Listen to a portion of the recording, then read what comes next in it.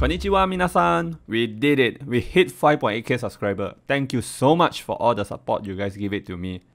And to return all the love and support you guys give it to me, I'll be giving out one $25 iTunes or Google Play gift card to one of you to roll for the GSSR banner.